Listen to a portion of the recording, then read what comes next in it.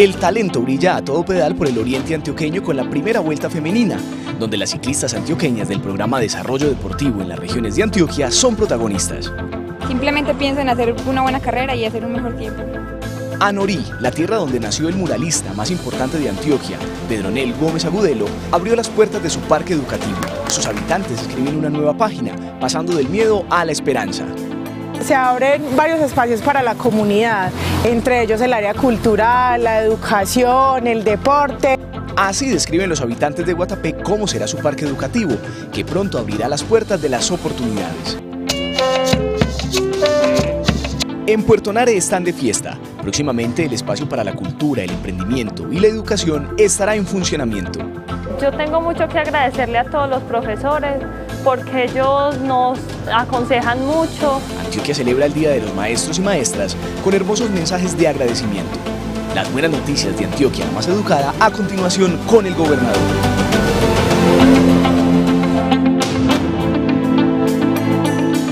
Desde la plazoleta de la iglesia de San Judas Tadeo en la 68 en Castilla, les damos la bienvenida a nuestro diálogo sobre Antioquia la más educada con el gobernador. Gobernador, noroccidente de Medellín, me imagino que muchos recuerdos para usted de su época de alcalde. Buenas noches Tatiana, muchísimos. Y desde antes de ser alcalde, este es un, una comuna, la comuna número 5 de Medellín, estamos en la parte noroccidental de la ciudad enfrente, ustedes pueden ver allá probablemente, están las comunas 1, 2, 3 y 4, después pasamos a este lado cruzando el río, las 5, las 6 arriba, 12 de octubre, hacia allá, hacia el centro, Robledo. Este es un sitio muy especial, un sitio que a mí personalmente me trae muchos recuerdos. Yo me he caminado todas estas calles de acá físicamente repartiendo nuestros volantes cuando empezamos a hacer política y me da mucha alegría ver tantas personas que todavía recuerdan ese trabajo que hicimos. De hecho, hay muchas personas que me saludan, ¿qué hubo, alcalde? Y pues eso significa que me recuerdan a mí de esa época como alcalde, pero es un sitio muy especial. Tiene un origen, Barrio Castilla tiene un origen obrero. Cuando empezó el proceso industrial en el área metropolitana aquí en Medellín, conocida como la capital industrial de Colombia, muchos obreros vinieron a abrir a este sector, a vivir, perdón, a este sector, un barrio organizado, con mucha conciencia y este es un barrio que ha pasado por muchas historias, muchas historias han ocurrido acá, gente inteligente, gente capaz, controversial, gente involucrada en la política y en lo público. Por aquí pasó, como por tantas partes de nuestra ciudad, la violencia en las formas más altas, pero al mismo tiempo una comuna que tiene las raíces de la resiliencia, de no aceptar la violencia, de expresiones culturales. Siempre, siempre que hay algún tipo de dificultad, la cultura ha sido protagonista para, para responder. Entonces es un sitio muy especial, con un carácter muy único acá de la ciudad de Medellín y yo lo quiero profundamente porque por estos lados caminamos muchísimo, trabajamos muchísimo, nos apoyaron muchísimo en esta iglesia, aquí en esta plazoleta. Después les cuento las historias que pasaron acá, pero me da mucha alegría estar en Castilla. Y estamos muy bien acompañados, ya los vamos a presentar, pero antes, gobernador, una pregunta creo que fácil. Bueno, no sé. Medellín, Leonel se quedó con, con ese puesto. Recuerda que la semana pasada le ah. preguntaban que si tenía inclinación por alguna de las dos opciones para ser director técnico del Medellín, pues ya se conoce el nombre de Leonel como director. Usted le está faltando tacto, porque hoy esto está lleno de verdes, toda Castilla está llena de verdes por todos lados, están haciendo fuerza por todos lados, yo los he molestado a todos. Aquí hay, usted no se, hay un silencio, esto está muy callado hoy acá. Están viendo el partido. Y es porque todo el mundo está nervioso frente a una pantalla de televisión. Por acá caminamos un buen rato por el Boulevard de Castilla. Yo recuerdo cuando inauguramos este Boulevard, por ejemplo, desde acá. Eh, pero bueno, a mis amigos verdes, discúlpenme un segundo que yo respondo por eh, la pregunta y es, yo estoy muy contento de que Leonel sea el entrenador de Medellín. Leonel es un símbolo de, del Medellín, del Nacional, porque Leonel es de esos jugadores que tiene una característica muy difícil de encontrar. Jugó en los dos equipos y en los dos equipos lo quieren. Eso es muy difícil que pase. Y Leonel tiene esa característica. Él fue del Nacional cuando se ganaron la Copa Libertadores de América y al mismo tiempo fue del Medellín, ha sido nuestro entrenador, pero representa coraje, ganas, convicción, pasión, gusto. Entonces estoy seguro pues que los hinchas de Medellín estamos muy contentos y Leonel que se ponga las pilas este domingo que no nos podemos dejar eliminar, porque ahí sí ya sí sería pues muy doloroso todo esto. Entonces le cambio el deporte, hablemos de rugby, porque mire, nos están acompañando por aquí los amigos rugbistas. Castilla tiene una historia muy importante, la primera cancha pública de rugby en Latinoamérica. Yo pensaba que era del país, pero ellos ahora me contaban la historia de Latinoamérica, se hizo aquí y está aquí en Castilla. No solo era pública, sino sintética. Pero Tatiana, ¿usted cree que todo el mundo sabe que es rugby? Pero es que aquí tenemos a los expertos. ¿Usted cree que no nos van a explicar? Pues un señor aquí así grande, gordote, tan fuerte. ¿Cómo te llamas vos, hombre? Mauricio Henao. Soy director deportivo de la Federación Colombiana de Rugby y de la Liga Antioqueña de Rugby. Bueno, ¿qué es el rugby? el rugby es un deporte que nace en Inglaterra por allá en 1820 y que se fue yendo por todo, por todo el mundo. Llegó Colombia un poquito tarde, por los 90 llegó a Antioquia con algunos estudiantes de intercambio que llegaron. Y es un deporte de combate, es un deporte de contacto donde se disputa por la posesión de una pelota y donde hay mucho contacto físico. Por eso las personas así grandes y atractivas como yo se, son muy exitosas en este deporte. Pero, pero de todas partes, bueno, listo, el rugby viene de Inglaterra, como el fútbol vino 1820 empezó el rugby, en fin, todas estas cosas, pero de todos los lugares que hay en Colombia, en Medellín, ¿cómo viene a dar el rugby al barrio Castilla? Bueno, nosotros empezamos por allá en el 2002 con la idea de sacar el rugby a las universidades, que era donde se jugaba principalmente. Y gracias a, y aprovecho para agradecerle cuando usted era alcalde, confió en nosotros y logramos entrar al INDER en las escuelas populares del deporte eh, y nos dieron la oportunidad de empezar a jugar rugby en los barrios populares. No, el, se dieron cuenta que a través del rugby los muchachos eh, se alejaban de la violencia, se, se canalizaban esas energías y empezaban a cambiar su comportamiento. Y nosotros somos convencidos de que el rugby educa. Y esa mentalidad hizo que el rugby empezara a, llegar a diferentes barrios populares y en algún momento en un programa como este, con, con, el alcalde, que en ese momento era Alonso Salazar, a quien también le estamos muy agradecidos, le dijimos, señor alcalde, ¿por qué no nos da un espacio? Y nos propuso Castilla.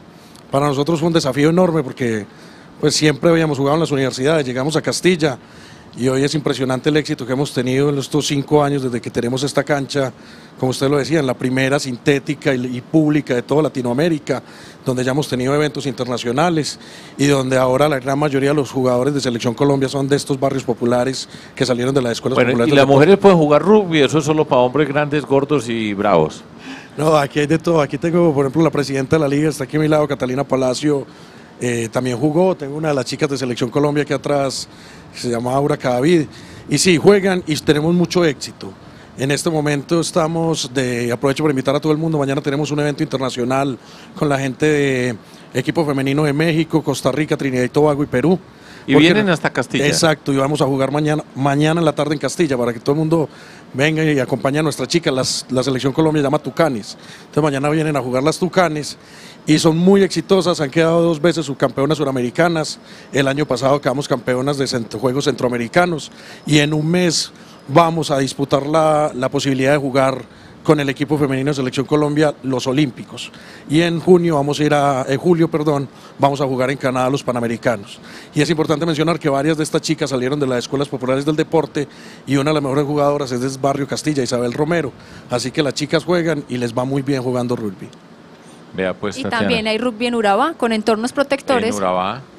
En apartado, yo recuerdo con la Cancillería, quiero hacerle el reconocimiento a la Cancillería que apoyó también el proceso de rugby en Urabá y viene creciendo de una manera extraordinaria. Para terminar, la selección Colombia, ¿hay alguna persona de Antioquia en la selección Colombia de rugby? Sí, pues realmente todos los que estamos acá de una u otra manera somos selección Colombia. Eh, gracias al éxito de las escuelas populares del deporte, hoy el 80-85% de todas las selecciones masculinas, juveniles, mayores, son jugadores de, acá de Medellín, de Antioquia.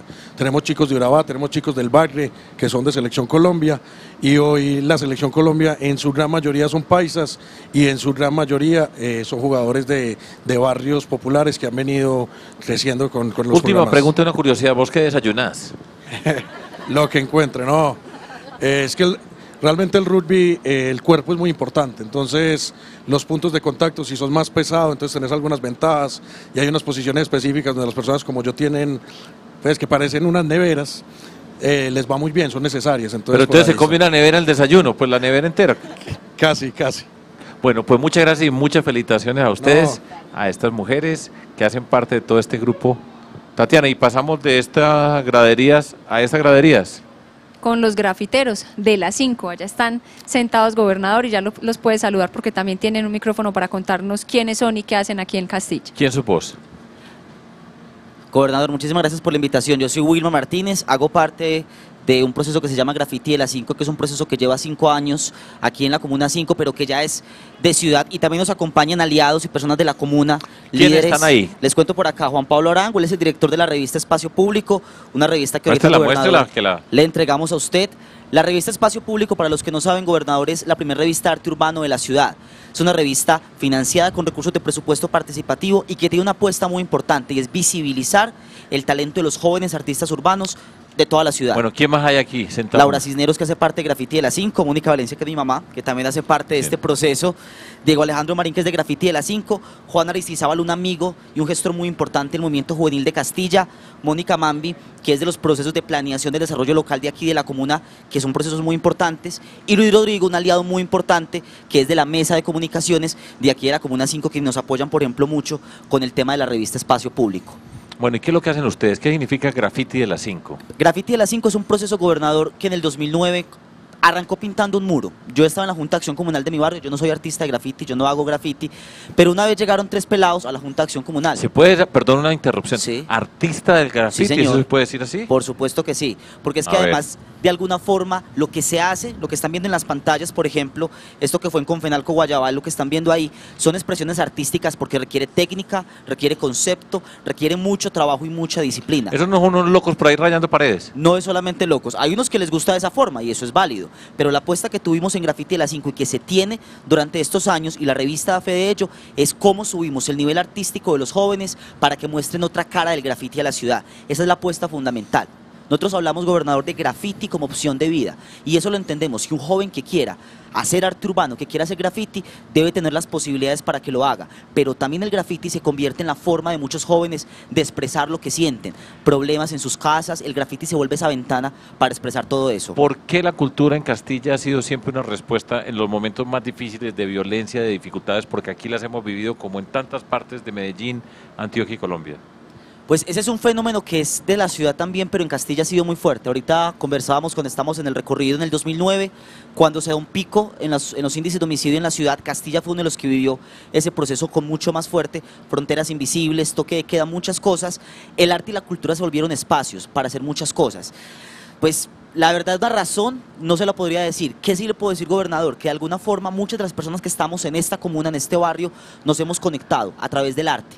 Y el arte nos ha permitido salir a las calles a contar otras cosas, hacer graffiti, hacer murales, hacer música, hacer rock. Usted ahorita visitó Ciudad Frecuencia, por ejemplo, un espacio muy importante en la comuna. Y esa es la respuesta que siempre se ha dado. Y ahí hemos estado cuando eso ha ocurrido siempre. Pues yo los felicito. A mí me da mucho orgullo y esa es una invitación a ver jóvenes en todas las expresiones, en lugares que muchas veces se asocian con violencia, pero uno ve la resistencia y la capacidad de expresarse y eso de conectarse a través de la cultura y el arte. Eso significa que nosotros nunca nos van a derrotar los que creen que la violencia es la forma de entendernos. Nunca, nunca. Han tenido fuerza en momentos, pero es imposible que paren las expresiones de la cultura, de la inteligencia, del talento y las comunidades que nosotros tenemos. Esta Castilla es un sitio extraordinario. Muchísimas gracias, muy buenas noches. Siempre es un gusto venir acá y uno carga las pilas, la energía que se necesita para seguir diciendo esto se puede cambiar. Y nosotros aquí lo hicimos y lo hemos hecho y vivimos y sabemos que aquí está la esperanza. Pero se pueden quedar aquí con nosotros, terminar el programa, acompañarnos. Yo no sé si usted ha jugado rugby gobernador o si ha hecho un graffiti, no, no, pero, yo no. pero aquí tenemos los maestros para que le enseñen si se quiere atrever. Pues a jugar rugby ya me pasó la edad. Y graffiti, para eso los tenemos a ellos que están bien preparados. Pero yo escribo a mano y escribo mis cosas. Pero yo lo que hago es barra. Que se destaquen, que brillen, que empujen, que se multipliquen las expresiones culturales por todas partes, que no haya ninguna frontera, que hay fronteras invisibles a veces que no dejan pasar, pero la cultura no la detiene ninguna frontera, el conocimiento no lo detiene ninguna frontera, la decencia no la detiene ninguna frontera, y así es como nos tragamos y cambiamos este mundo. Entonces yo soy de la barra de Castilla. Mañana es su día y es el día de su familia. Maestras y maestros, mañana 15 de mayo pues es el momento para hacerles un reconocimiento y para tener ese homenaje con ellos que hacen parte de la transformación de la sociedad. Usted ya ha trabajado hombro a hombro estos tres años, ha sido maestro desde hace mucho tiempo, pero en estos tres años de Antioquia la más educada ha trabajado con maestras y maestros de todo el departamento. ¿Qué les quisiera decir, gobernador, en este momento como mensaje para y por aquí hemos trabajado y el Alfredo Koch queda por acá cerca, ¿cierto? Y allá hemos estado allí a la vuelta.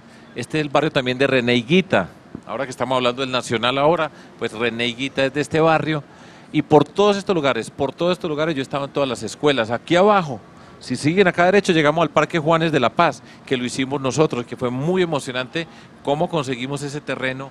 Allá hay unas canchas de tenis también que hace parte del deporte acá, en fin, pero no voy a hablar más de Castilla, pero sí voy a hablar de los docentes. Y voy a decir lo siguiente, esta es, mañana es la última celebración en el gobierno de Antioquia la más educada que tenemos del Día del Maestro, que nosotros les decimos el Día de las Maestras y Maestros. Y lo decimos porque cerca del 70% de las personas que enseñan son mujeres y se oculta bajo la expresión Día del Maestro tantas mujeres que están trabajando. Y es mi última oportunidad como gobernante de celebrar el Día de mi familia. Y yo he dicho mi familia porque esa es la comunidad a la que yo escogí pertenecer, porque yo decidí estudiar matemáticas, ser un científico y ser un profesor, porque yo escogí la educación como mi convicción profunda. El camino es largo, hemos recorrido mucho desde que empezamos en Medellín, por todas las instituciones educativas, en todos los barrios, por empinado que fuera el barrio, hasta llegar a las veredas más remotas de todo el departamento de Antioquia. Y ese camino ha sido muy emocionante, ha sido un camino que después de todo yo puedo decir que tenemos, utilizando una expresión que, utiliza, que he usado anteriormente, tenemos la educación en la piel, en el corazón y en la razón. La hemos sentido, vivido, olido, estudiado, pensado y querido con toda el alma. Y fíjense ustedes lo que nos pasa a nosotros en nuestra sociedad. Estoy hablando a mi familia. En Colombia, en las últimas décadas, el protagonismo ha estado asociado con la violencia, la ilegalidad y la corrupción. Una parte de nuestra sociedad, dolorosamente, no es sino mirar los medios de comunicación y ver los que pasa recurrentemente en las noticias principales de nuestra sociedad.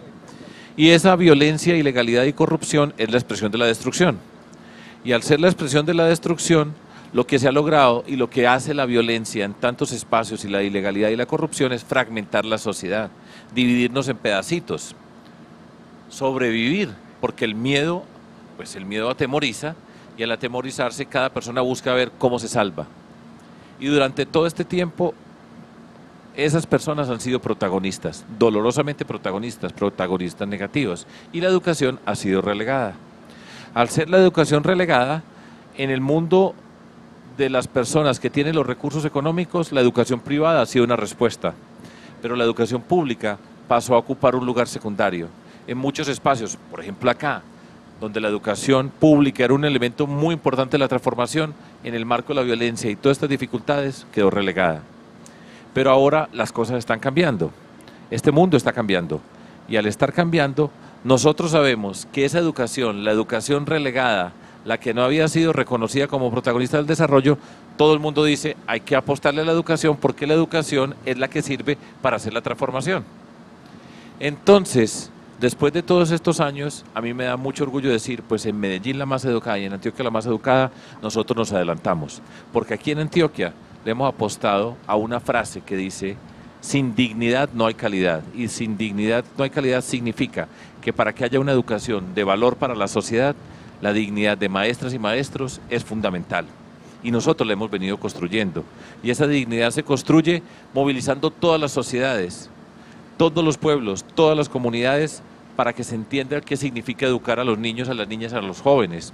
Y cómo hacemos las Olimpiadas del Conocimiento y el Premio Antioquia la más educada y cómo trabajamos con cada alcaldía, con cada comunidad, cómo tenemos el programa del transporte, cómo llegamos a la institución, cómo trabajamos con los rectores, las rectoras, líderes transformadores, cómo llegamos allá adentro a las aulas escolares donde están las maestras y los maestros con las becas de maestría. Y nosotros en Antioquia, y yo lo he dicho en todas partes, en Antioquia no hay ni una maestra ni un maestro malo, todos son buenos, todas nuestras maestras son buenas, todos podemos mejorar y hacemos la ruta de la calidad y lugar por lugar hablamos de dignidad, de capacidad, de compromiso, de pasión. Después de todo este recorrido, tantos años, porque ya son muchos años, desde que yo empecé como alcalde de Medellín hasta este, la última oportunidad que yo tengo en la vida de hablarles como gobernante aquí en mi tierra, a las maestras y los maestros, ha sido un camino emocionante. Hablamos de dignidad, hablamos de capacidad y la convicción muy profunda que nosotros, maestros y maestras, tenemos en las manos la mejor oportunidad de hacer de esta sociedad la mejor. Hay una responsabilidad grande para maestras y maestros y ahora los reflectores están encima, mirando cómo somos. Y hay gente que descalifica y lo que nosotros estamos haciendo en Antioquia es desde la decencia, desde la dignidad, desde la capacidad de trabajar, invitar a maestras y maestros a ser los protagonistas. En fin, Tatiana, me podría quedar aquí un día entero, pero ese es el mensaje. Sin dignidad no hay calidad, lo estamos construyendo en Antioquia la más educada y a toda esa familia de maestras y maestros mi corazón. Y hay muchos mensajes también muy bonitos, gobernador, como el que usted le acaba de mandar a su familia desde otros lugares del departamento, desde diferentes regiones, para decir mil gracias, profe, a maestras y maestros, porque son protagonistas de la transformación.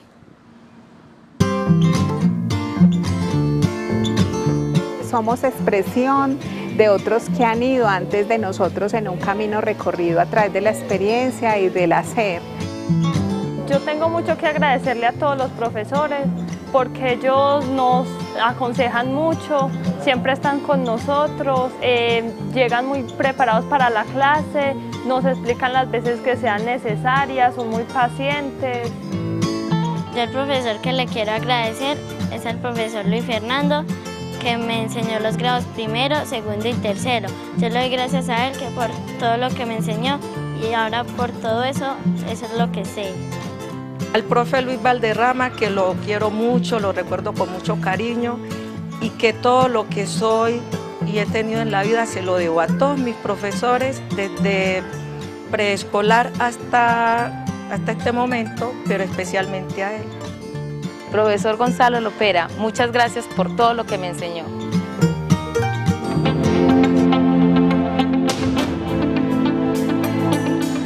Usted, gobernador, le quiere decir mil gracias, profe, a alguno de esos maestros o maestras que recuerde de su época de estudiante? Yo del colegio recuerdo a don Manuel, tercero de primaria. Don Manuel, en tercero de primaria no había distinción de matemáticas, eran básicamente todas las materias. Después, en bachillerato a don Omar, álgebra. Cuando yo vi la primera factorización, yo quedé encantado de las manos de don Omar escribiendo en el tablero. Y desde ahí, mire dónde estoy. Después a Saúl, ya falleció también Saúl, pero fue el que me dijo, la primera persona que me abrió el mundo a conocer otras disciplinas, a la filosofía, a la lectura, a la cultura, al teatro, a todas esas expresiones, a la música clásica, fue Saúl. Y me dijo una frase que no la cumplí yo, no me ajusta a mí, pero siempre me dijo, para que la vida tenga sentido hay que ser sabio o santo. Yo ni sabio ni santo, pero ahí vamos. Después Javier Caicedo, profesor en la universidad de lógica matemática.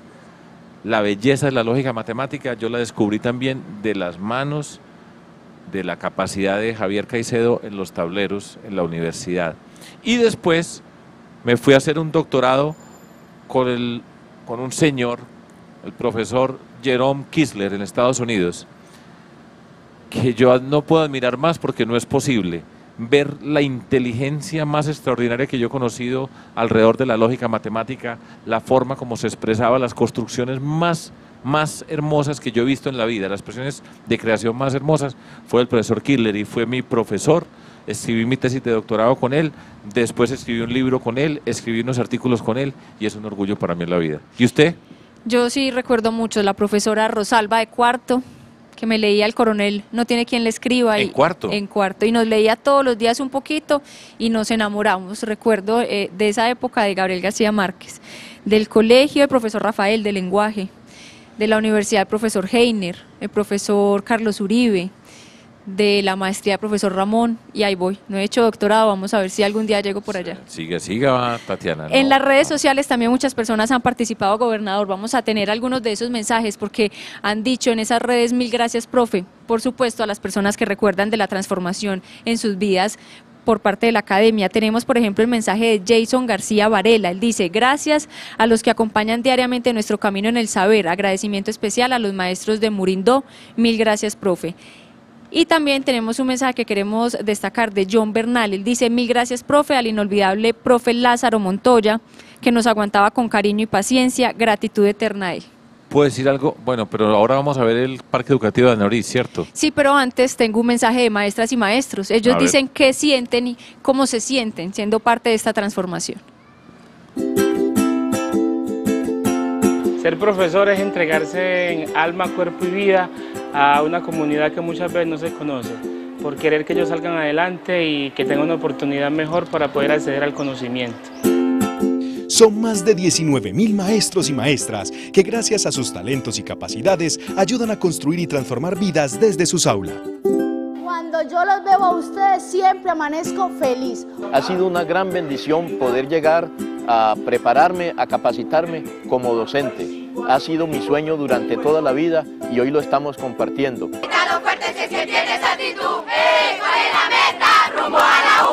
Hemos logrado a través de nuestro proyecto cambiar la mentalidad de nuestros muchachos, cambiar la forma de pensar, cambiar la forma de actuar, cambiar esa, esa actitud frente a la clase. La educación es el mejor camino para mejorar en la vida. Nos abre grandes puertas, nos abre grandes oportunidades con la educación nos transformamos nosotros mismos, transformamos nuestro contexto. Hoy puedo decir que la perseverancia de mi madre, la unión de mi familia y el amor de mis estudiantes, puedo decir que estudiar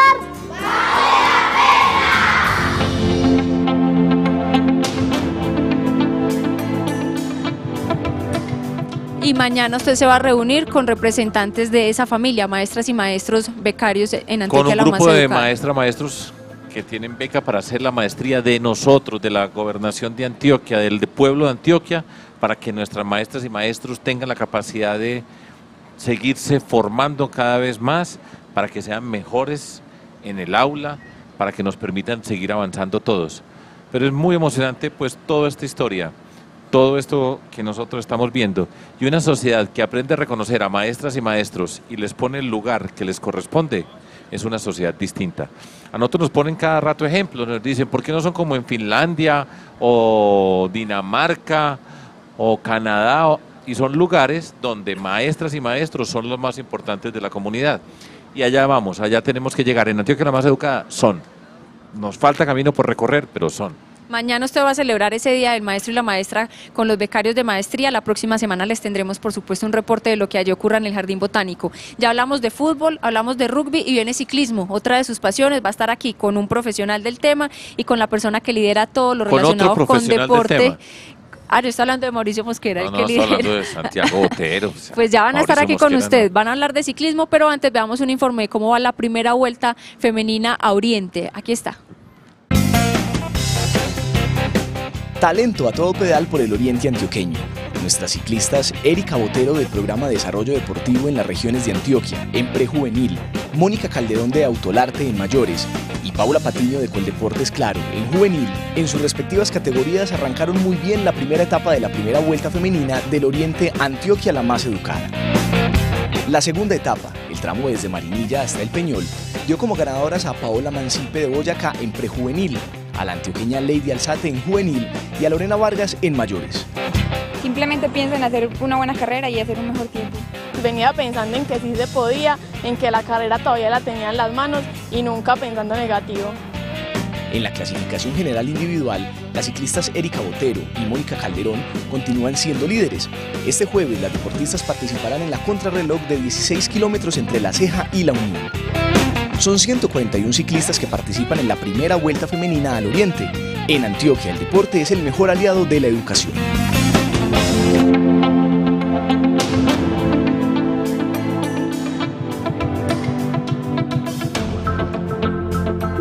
Estamos listos.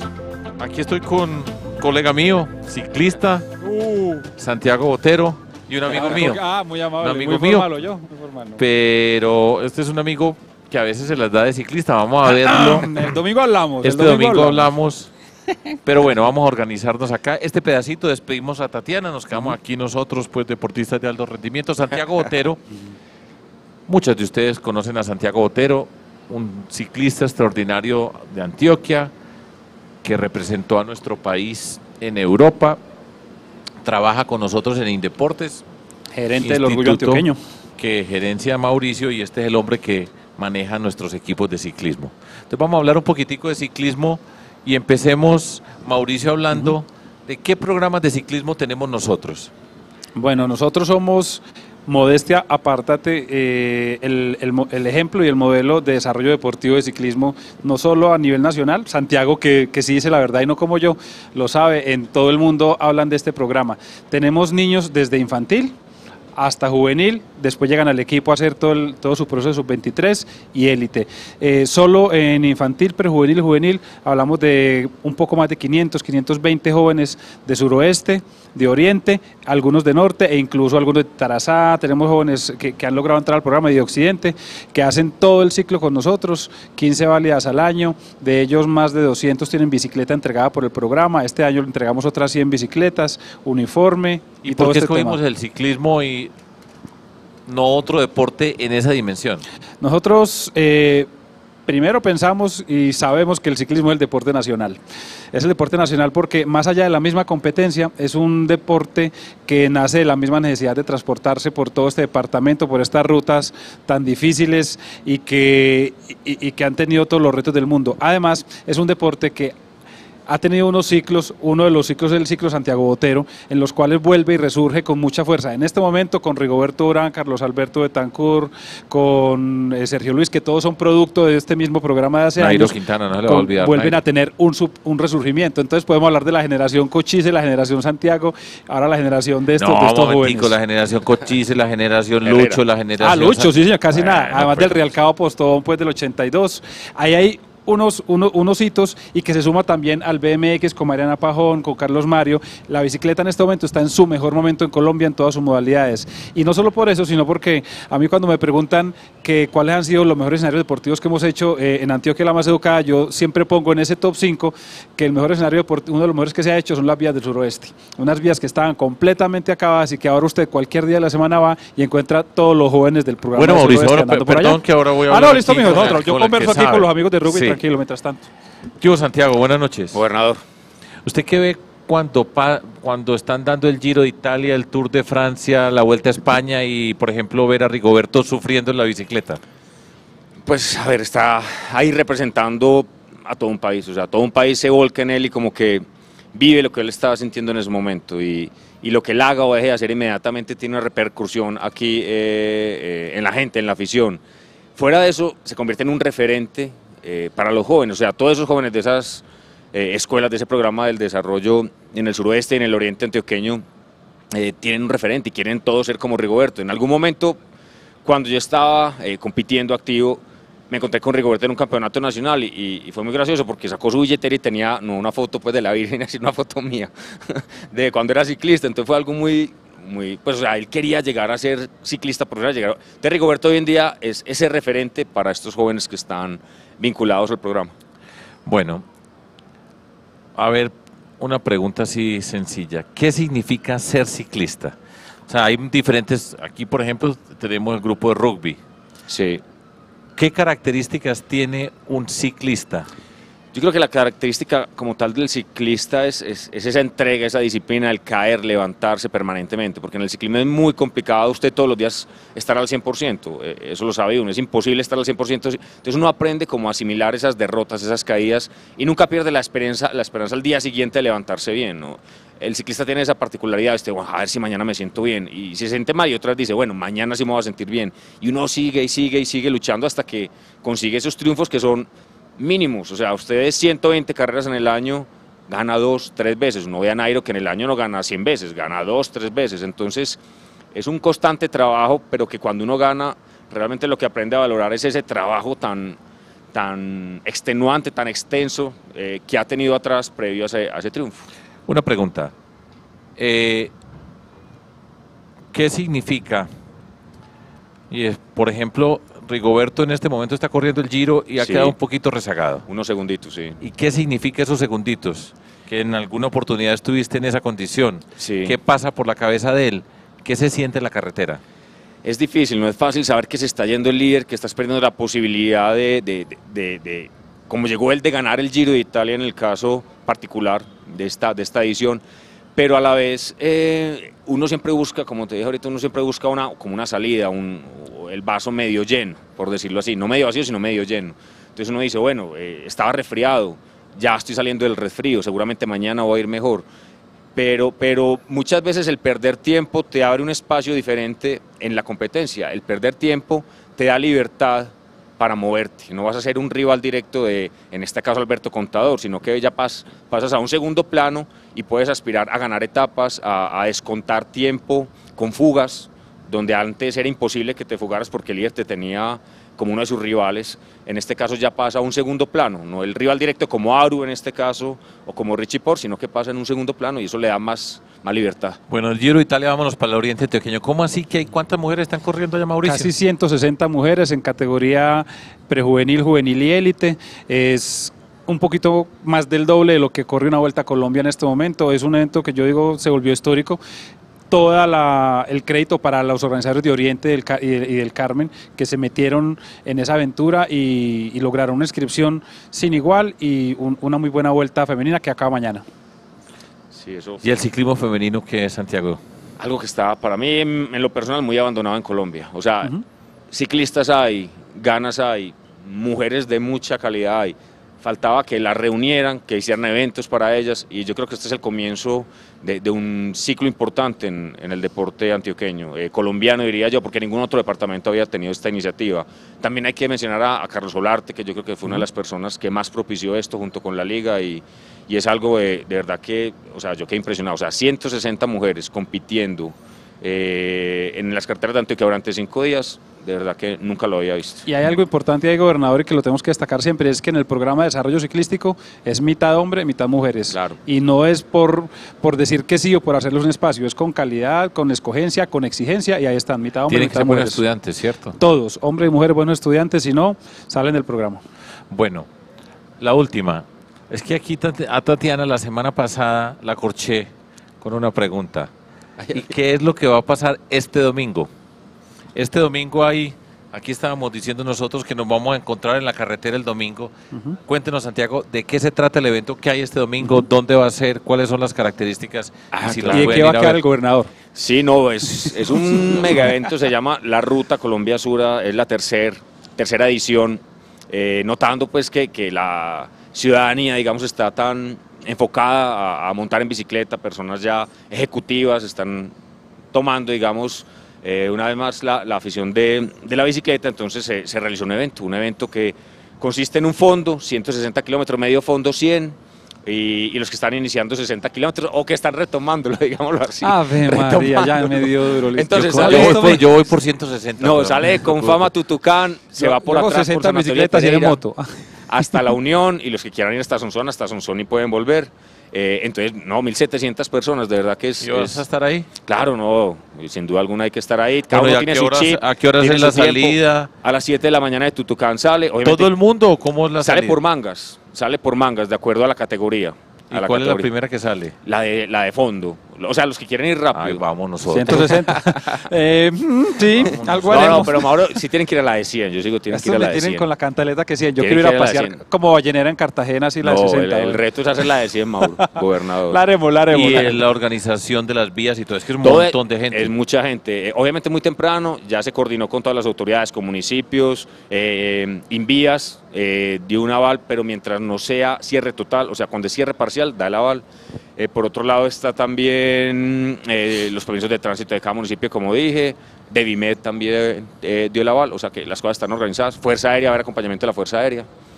Eh, no, es, es un super evento y, y con un Control antidoping. Eh, no, ya, ya tuve mi, me han tenido entrenando mucho, no necesito doping. Pero hablando de eso, hay un tema muy, muy fuerte que por, por eso Indeporte se mete con este evento.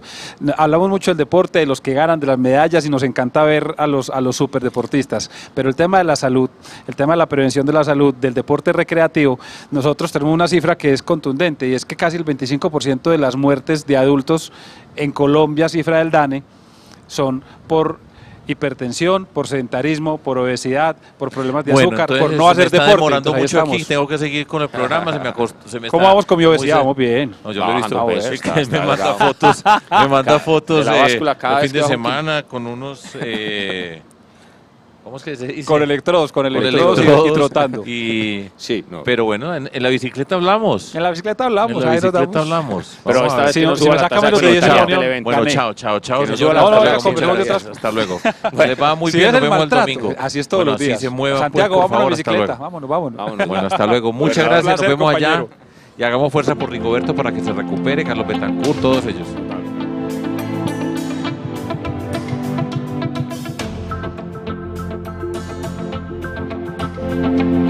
25 familias de la vereda La Siberia en Salgar están felices porque ya tienen casa propia. En Antioquia, cuando no se pierde un peso, se puede.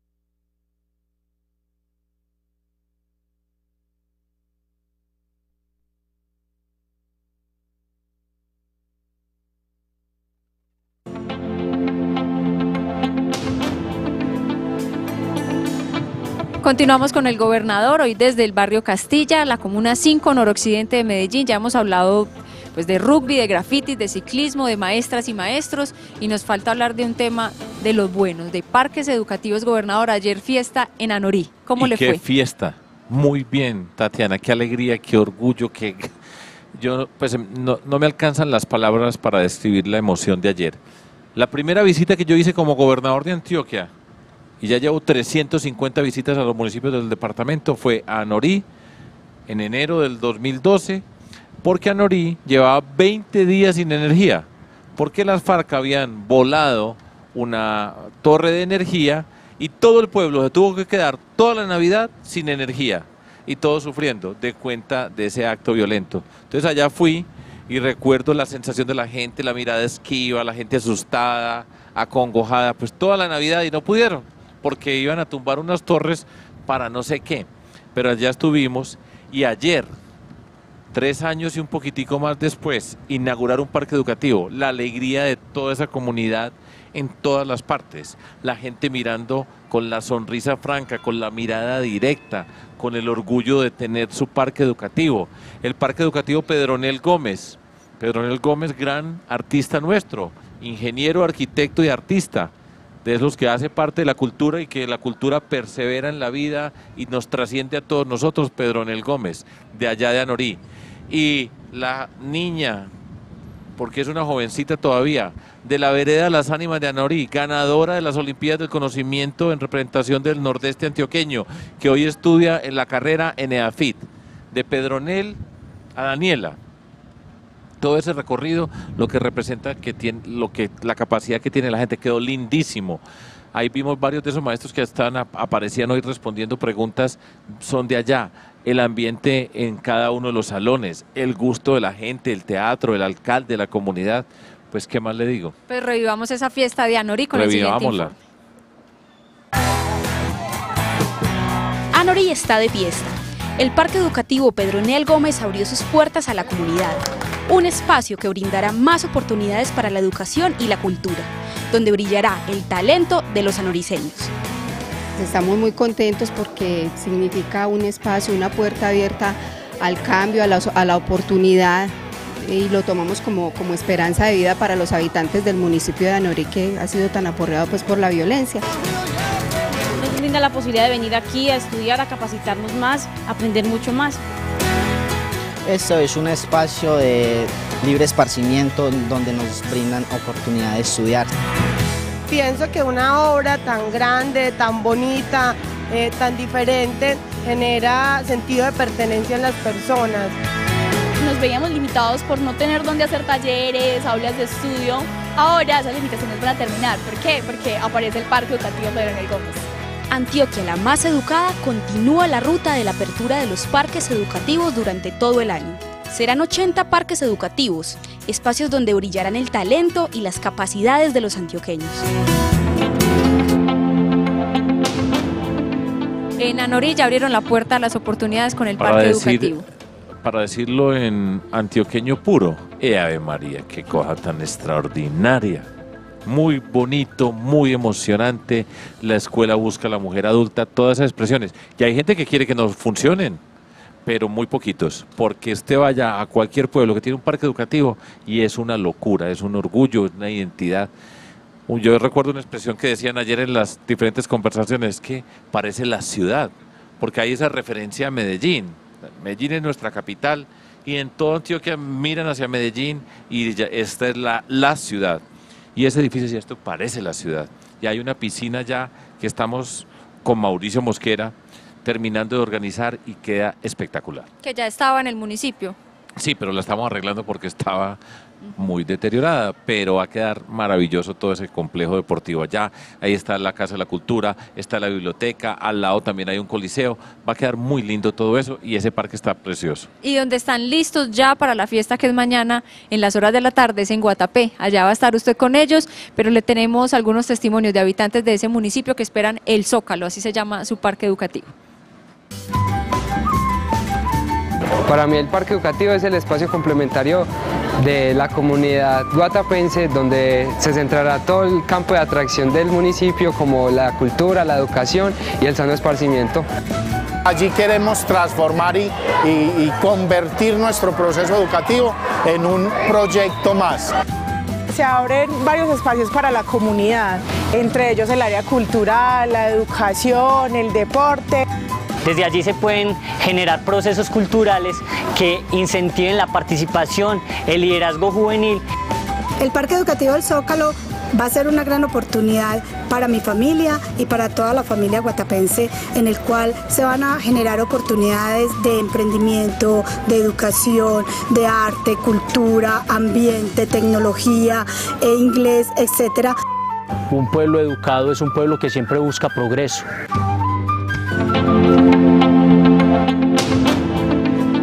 Carlos Espinosa, comunicador del municipio de Guatapé, nos envió esas imágenes. Esa es la expectativa que se vive en este momento en Guatapé con el parque educativo y ahí le damos las gracias, por supuesto, por ese material. Y quedó lindísimo. Y Guatapé, Anorí en el nordeste. Anorí es un municipio que tiene una condición, se la voy a recortar. Limita con 10 otros municipios del Bajo Cauca, del nordeste, del norte de Antioquia y está en una posición que ha sido un punto de cruce de todos estos municipios con un clima muy diferente, con una población de cerca de 17 mil personas y Guatapé queda aquí. Cuando digo aquí es detrás de esta montaña porque queda en la zona de los embalses, al lado de la represa del Peñol, es un pueblo turístico. Guatapé y el Peñol, hermanos, que discuten entre ellos siempre. Ahí está la piedra que ellos dicen que es de Guatapé, otros dicen que es del Peñol, pero es un sitio extraordinario y lindísimo. Pequeñito, son cerca de 6.000 habitantes, turístico. Tienen en esa expresión de el Zócalo una marca, una identidad que hace eh, que Guatapé se destaque como un sitio para el turismo, hay restaurantes, hay una cultura de atender a los turistas, es un sitio muy lindo, una joya. Por allá prácticamente la violencia no ha pasado, una cosa muy diferente y está enmarcado en un complejo también hay piscina, hay pista de bicicross, hay coliseo, en fin, todo eso y se convierte en un espacio como dicen todos estos chicos, chicas, dicen, aquí nos vamos a encontrar para la cultura y eso es lo que nosotros hemos hecho y estamos haciendo, que la gente sueñe, que se encuentre a otras cosas eh, que no sean la violencia, la ilegalidad, la corrupción y Guatapé pues va a estar brillando, el alcalde Mauricio está preparado para recibirnos mañana a nosotros allá y vamos a pasar muy felices. Y quien quiera ir, bienvenido. A las 2 de la tarde estamos allá en Guatapé, entrada libre y se están preparando en Puerto Nare porque el próximo miércoles llega la Perla del Magdalena, que es el parque educativo que va a tener esa localidad del Magdalena Puerto Nare es el próximo miércoles. Puerto Nare queda al lado del río Magdalena, hace parte del Magdalena Medio. Recuerden que Antioquia, en la parte oriental del departamento de Antioquia, desde Puerto Triunfo hasta Yondó, tenemos ribera sobre el río Magdalena. Puerto Triunfo, Puerto Nare, Puerto Berrío y Yondó. Ya estuvimos en Yondó inaugurando el parque educativo. Viene el parque educativo de Puerto Nare. Dentro de poquito está el parque educativo de Puerto Triunfo. En Puerto Nare vamos a ir a un corregimiento que se llama La Sierra, donde vamos a revisar unas escuelas, a entregar una escuela. La semana entrante les cuento la historia, el parque que no estaba terminado y cómo lo terminan, cómo vamos a inaugurar ese parque educativo. Allá estuvimos trabajando con el hospital que Puerto Nare tiene un gran alcalde y a mí me da mucha alegría porque el doctor Londoño es el alcalde y es un ejemplo y quedó lindísimo también. Y allá en Puerto Nares saben muy bien para qué es ese parque educativo, la Perla del Magdalena. El parque educativo le pusieron Perla Magdalena porque tiene un paisaje muy, muy hermoso y el pueblo es muy lindo. Hay mucha gente que soñaría que soñaría que ese parque estuviera acá y ahora lo tenemos, es una alegría muy inmensa. El parque educativo nos va a permitir pues, que los habitantes de Puerto Nare aprendan algo más, de una forma más divertida, más didáctica. Lo tecnológico, eh, lo artístico, que ahí se involucran varias, varias ramas y le va a dar un impulso fuerte pronto a los, a los jóvenes que vienen de hacer la, la primaria y la secundaria, más oportunidad de estudiar dentro de su municipio.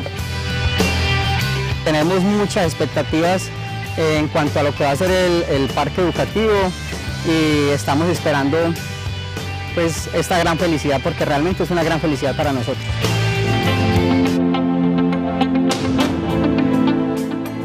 En Puerto Nare están preparados, gobernador, entiende muy bien para qué es su parque educativo, porque han participado en todo ese porque proceso se lo ganaron, desde que se lo ganaron. Porque además todo esto es ganado, eso no es a dedo, a usted le voy a dar un parque y entonces venga a ver que este porcentaje lo lleva este constructor y todas las cosas. Se lo ganaron, la comunidad se ha movilizado desde antes de tener el parque educativo, ya estaban movilizándose, soñando.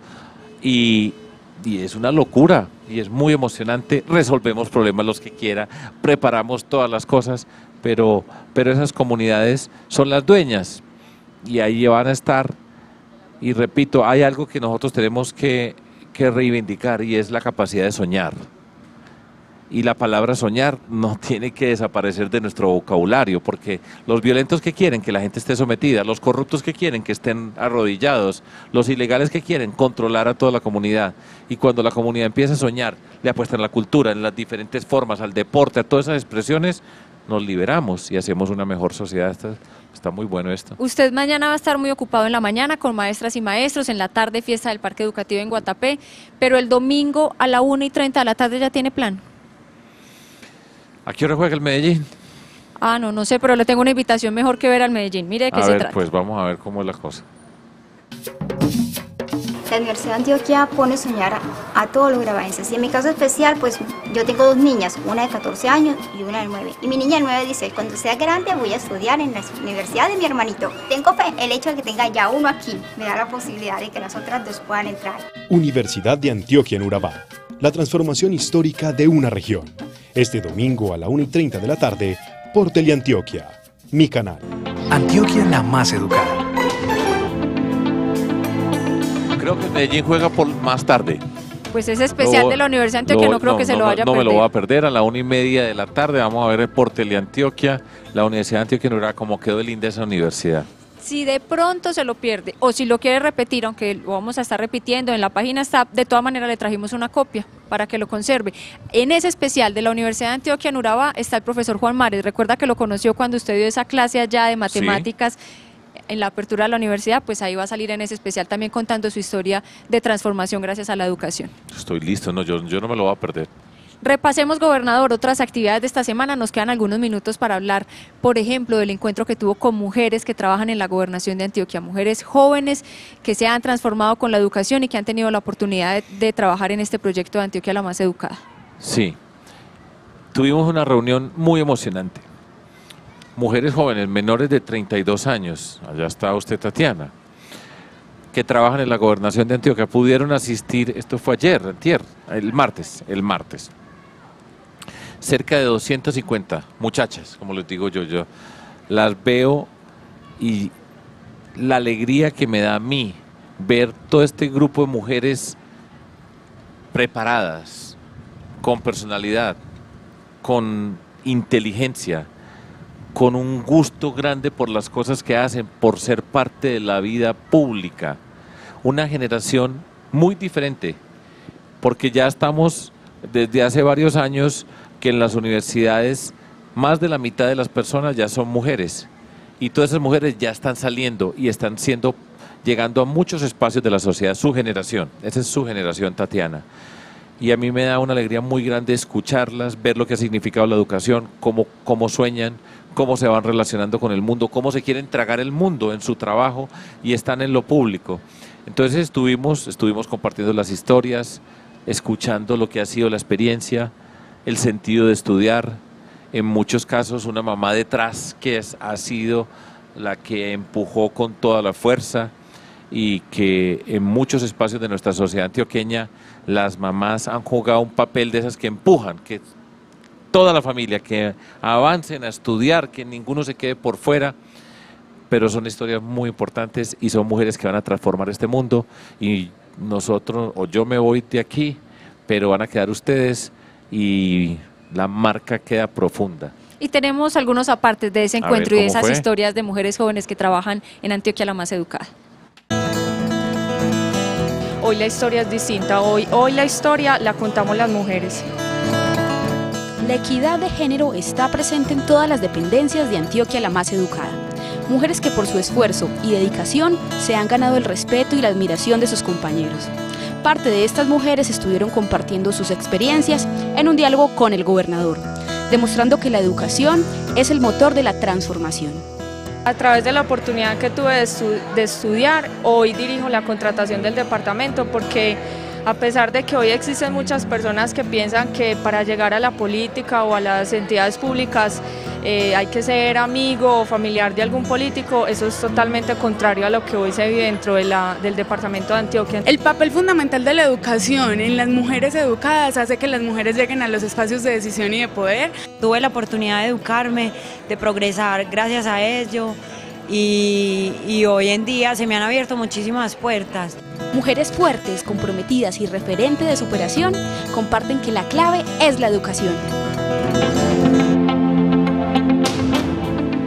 Inteligentes, talentosas y todas lindísimas además. Hago este comentario porque alguna vez usted contó una anécdota que le decían que era que a usted no le gustaban las mujeres bonitas. Sí, me han ganado todo tipo de insultos de todo tipo de formas, pero ese es cuando nosotros acabamos con los reinados de belleza y creamos el concurso Mujeres Jóvenes Talento, que de aquí han salido varias, de aquí de este sector de la ciudad, eh, el otro día una reina de belleza la entrevistaron y le preguntaron, pero es que Sergio Fajardo está en contra de los reinados de belleza. Y dijeron, no, es que lo que pasa es que a él no le gustan las mujeres bonitas.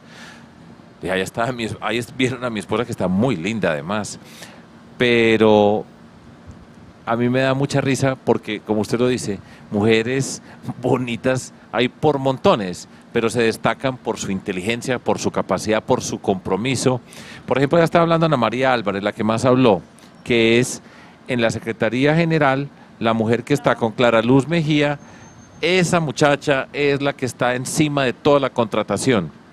Pero además ella nos contó ayer que ella trabajaba en una funeraria para poder ganarse los recursos y ahorrar para poder estudiar. Y ahora es una sobrada de la gobernación de Antioquia, de Antioquia de Colombia. Esa es una mujer extraordinaria. Una de las encargadas de los muchos ojos y las pocas manos de las que Esa, siempre insistimos aquí. Gobernador, se nos acaba el tiempo, pero aprovechemos para que nos cuente en este minuto cómo le fue en Bello, porque Muy usted bien, antes de muy llegar bien. a Castilla Acabamos de llegar de allá. Bello, estábamos allá en dos cosas. Una, una reunión del mundo de la cultura. Nosotros le hemos apostado a la cultura con toda la fuerza, por convicción, por lo que significa la cultura, y aquí ya lo hemos hablado.